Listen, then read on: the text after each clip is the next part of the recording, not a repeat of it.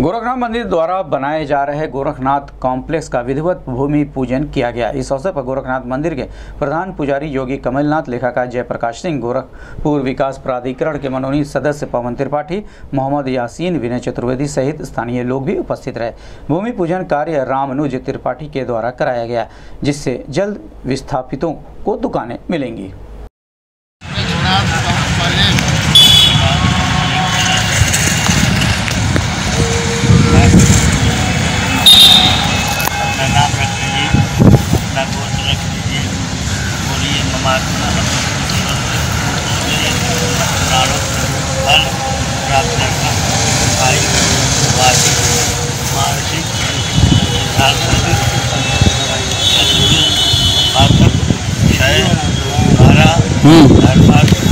Video बनाओ तुम। आरोग्य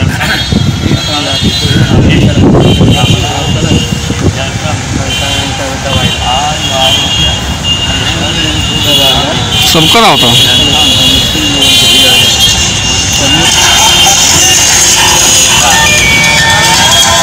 Alô?